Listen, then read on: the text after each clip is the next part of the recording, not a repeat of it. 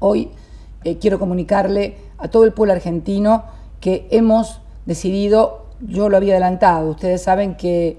eh, el Poder Ejecutivo negocia la deuda externa por delegación del Congreso. Hemos decidido enviar una ley eh, al Congreso Nacional, ley del pago soberano local de la deuda externa de la República Argentina, que tiene dos títulos. El primero se refiere precisamente al pago soberano local. Y en su artículo primero establece que en ejercicio del poder soberano de la República Argentina se declara de interés público la reestructuración de la deuda soberana realizada en los años 2005 y 2010, así como el pago en condiciones justas, equitativas, legales y sustentables al 100% de los tenedores de títulos públicos de la República Argentina. Artículo 2. La presente ley tiene por objeto implementar instrumentos legales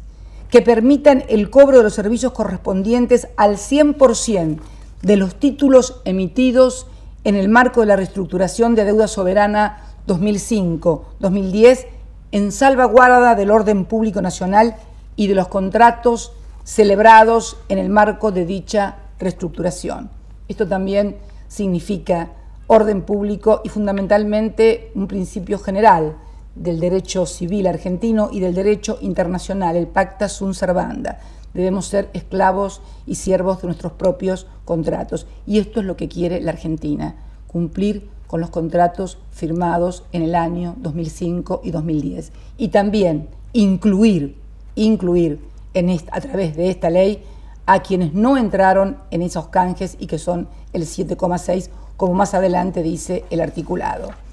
El capítulo segundo habla del mecanismo para, para salvaguardar el cobro de los tenedores que adhirieron a la reestructuración de la deuda en los años 2005 y 2010. Artículo 3. Se autoriza al Ministerio de Economía y Finanzas Públicas a adoptar las medidas necesarias para remover al Banco de Nueva York, Mellon, como agente fiduciario y a designar en su reemplazo a Nación Fideicomisos Sociedad Anónima. Todo ello sin perjuicio del derecho que asiste a los tenedores de designar un nuevo agente fiduciario que garantice el canal de cobro de los servicios correspondientes a los títulos reestructurados. Esto es muy importante porque esto está establecido en los propios prospectos y esto tiene que ver con los avisos legales publicados oportunamente por la República Argentina, no solamente en nuestro país, no solamente en el boletín oficial, sino también en todos los diarios del mundo, avisando precisamente a los tenedores de los bonos de los canjes, de los derechos que los asistían frente a la obstrucción ilegal e ilegítima que hacían para el cobro de sus acreencias. La obligación que tenemos por contrato es siempre garantizar que puedan cobrar. Por eso, debido a la obstrucción del juez Griesa, estamos eh, precisamente y recuperando también eh, por imperio de la soberanía nacional esta norma que va a ser tratada por nuestro Parlamento.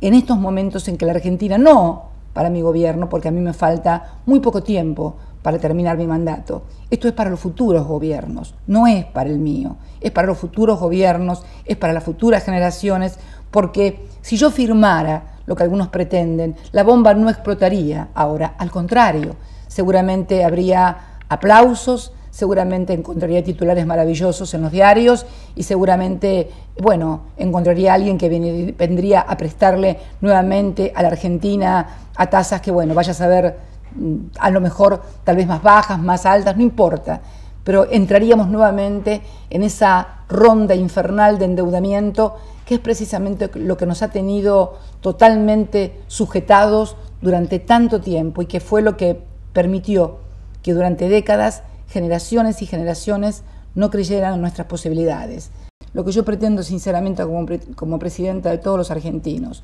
que he tenido el inmenso, el inmenso y nunca tal vez soñado honor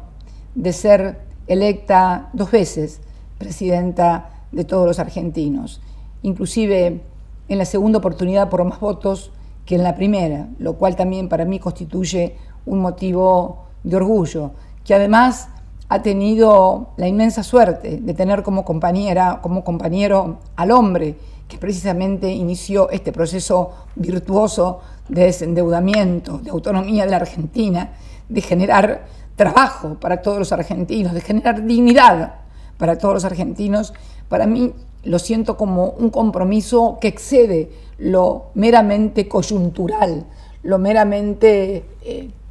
eh, o de la etapa para ingresar decididamente en lo histórico. Les pido a todos que en todo lo que estemos en desacuerdo sigamos estando en desacuerdo, pero en estas cosas, por favor, tengamos la grandeza de entender que no es este el problema de un gobierno. Es más,